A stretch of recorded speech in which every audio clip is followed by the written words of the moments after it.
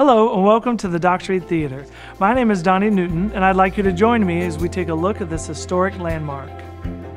When the Dock Street Theater opened in 1736, it was the first structure built in America to be solely used as a theater. Before that time, barns, churches, and bars were used for performances. Tragically, the theater burned down in 1740 when a fire swept through much of the city's French Quarter. It was rebuilt and eventually turned into the sophisticated Planters Hotel in 1809.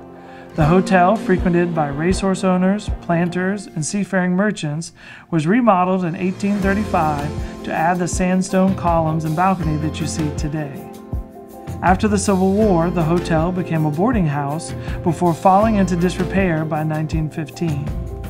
The city of Charleston acquired the building in 1935 and, with the help of FDR's Works Progress Administration initiative, restored the venue to that of an 18th century English theater.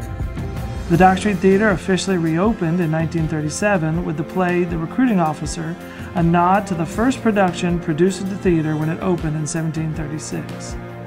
The theater is home to Charleston Stage Company, which produces a full season of shows every year. It is also host to organizations both local and international, including the Charleston Literary Festival, Moja Festival, Spoleto Festival USA, and more. We look forward to hosting performances at this historic venue for many years to come.